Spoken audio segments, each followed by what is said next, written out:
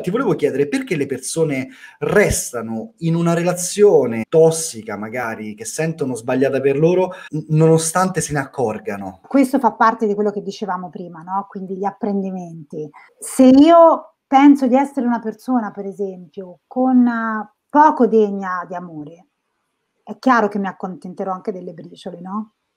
E quindi meglio una relazione sbagliata che nulla. Quindi, per esempio, una, quello che raccontano spesso le persone è proprio la paura.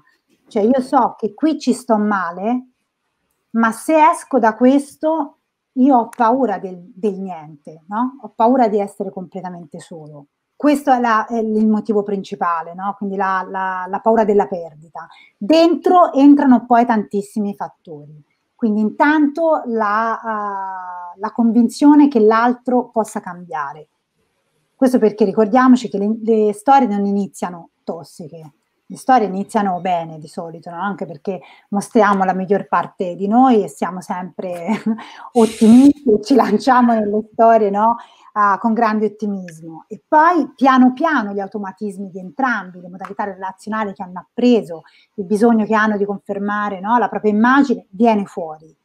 E piano piano si creano questi circuiti per cui è difficile uscirne. E un pensiero costante è uh, tornerà tutto come era prima. Questo per esempio è qualcosa che le persone raccontano sempre. Va bene, ma adesso succede adesso perché c'è dello stress lavorativo e quindi sì, siamo più nervosi, no? La paura del fallimento, perché non dimentichiamoci che in tutto questo ci sono fortissime pressioni sociali, cioè ognuno di noi sta dentro un gruppo sociale e questo è qualcosa che uh, interviene in ogni tipo di relazione. Credo che la cosa poi più importante, che è quella che ci rimane più attaccati, è il preservare l'immagine che abbiamo di noi.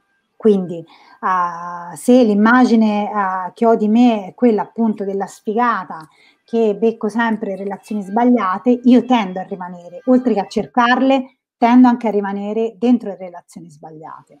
Certo. Se la, la, percezione che io ho è che sono la meglio del mondo, che io posso cambiare gli altri, mm-hmm. starò dentro una relazione in cui l'altro non, uh, non mi piace, l'altro non si smuove, ma almeno io posso esercitare il mio potere criticandolo tutto il tempo.